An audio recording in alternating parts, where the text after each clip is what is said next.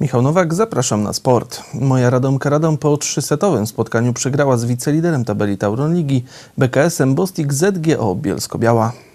W kadrze meczowej na spotkanie z BKS-em znalazła się rozgrywająca i kapitan Moja Radomki Marta Łyczakowska, która w ostatnich tygodniach pauzowała ze względu na kontuzję.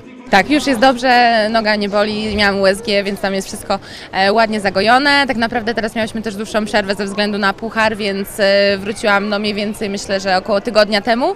E, No i też się fajnie złożyło, bo rzeczywiście do, do meczu miałam czas, żeby się przygotować. Mecz z BKS-em nie ułożył się po myśli Radomki. Wiceliderki tabeli Tauron Ligi w hali Radomskiego Centrum Sportu wygrały 3 do 0 w setach do 22, 19 i 22. Trochę w pierwszym i w ostatnim secie e, miałyśmy szansę, żeby chociaż, nie wiem, no, wygrać te dwa sety, może doprowadzić do tej breka.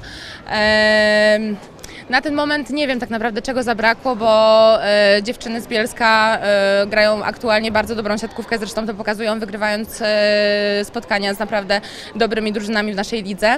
Niewykluczone, że oba zespoły trafią na siebie w pierwszej rundzie fazy playoff, bo obecnie BKS zajmuje drugą pozycję w tabeli, a Radomka jest siódma. Myślę, że nadal jest to zespół e, do ogrania, jest to zespół w naszym zasięgu, e, bo to też nie wygląda tak, że w każdym secie dostajemy, nie wiem, no bęcki do 10 i tak naprawdę nie mamy E, Momentami e, też zabrakło nam takiej, kurczę, no nie wiem, no po- postawienia kropki nad i, bo e, wygrywając kilkoma punktami, mając przewagę, bardzo często to trwoniłyśmy em, i myślę, że jeżeli po prostu będziemy bardziej konsekwentnym w naszych działaniach, to e, z takimi zespołami jak Bielsko mamy szansę i również w, w playoffach.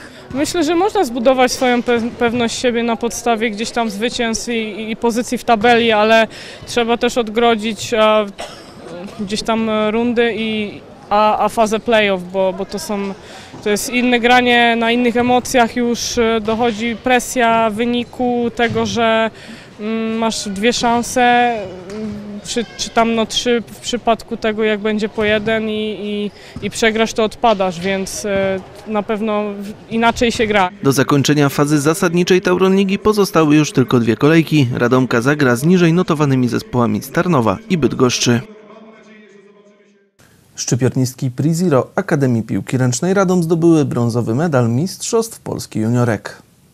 Wielkie emocje i dwa konkursy rzutów karnych. Tak wyglądał turniej Final Four Mistrzostw Kraju w kategorii juniorek dla szczypiornistek radomskiej drużyny. W półfinale APR przegrał z Wiktorią Świebodzice pokarnych 3 do 4. W regulaminowym czasie gry tego spotkania był remis 25 do 25. W meczu o trzecią lokatę APR zagrał z MKS-em Gniezno i ten pojedynek również był niezwykle emocjonujący i też zakończył się remisem, tym razem 29 do 29. W rzutach karnych radomianki zwyciężyły 4 do 3 i zdobyły brązowe krążki. Po zakończeniu spotkania była ogromna radość. Niesamowite uczucie, brązowy krążek, no coś nie do opisania. Próbowałyśmy jak najlepiej zagrać ten mecz i nastawiłyśmy się na, przy, e, na wygraną przede wszystkim. No przed własną publicznością to jest chyba najlepsze uczucie jakie można, e, może być i zdobyć jeszcze e, krążek, no, no super, no co tu Na więcej pewno mówić. jest niedosyt, że nie jest to złoty Tak. medal, ale jednak Podium to podium, wiadomo, też będziemy niesamowite. wiemy, Tak. że, wiemy, że nieważne co osiągnęłyśmy, to nasi rodzice, kibice są z nas dumni i to jest dla nas Zawsze najważniejsze. będą za nami. Radomianki zdobyły medal przed własną publicznością. Mecze odbywały się w hali przy ulicy Chrobrego. Gigantyczna radość z tego medalu, chociaż dziewczyny, no widać było, że duży niedosyt, że nie zagrało złoto, ale to jest naprawdę gigantyczny sukces i potwierdzenie tego, że Akademia Piłki Ręcznej Radom to jest chyba najmądrzej budowany projekt sportowy w Radomiu. Solidne podstawy od najmłodszych dzieciaków do seniorek. Ja myślę, że największe sukcesy dopiero przed tymi dziewczynami.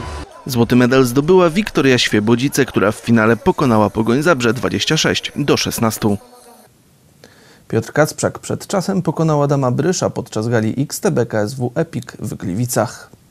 Walka ta otwierała galę XTB KSW Epic. Odbyła się ona w formule i na zasadach MMA, ale zawodnicy ubrani byli w kimona. Kacprzak z brazylijskiego jiu-jitsu, a Brysz z judo, czyli z dyscyplin, z których się wywodzą. Dla Radomianina była to druga walka w Federacji KSW. Wcześniej wystąpił na gali w Radomiu i podczas KSW 68 w hali Radomskiego Centrum Sportu pokonał decyzją sędziów Jose Marcosa. Tym razem znów był lepszy od rywala. Walka z Bryszem trwała niespełna półtorej minuty. Rywal od początku wywierał presję, ale Kacprzak dobrze atakował. Po jednym z trafień wysokim kopnięciem Brysz się zachwiał, a zawodnik Crossfight Radom to wykorzystał. Arbiter zakończył pojedynek przed czasem, po tym jak Kacprzak zasypał rywala gradem ciosów.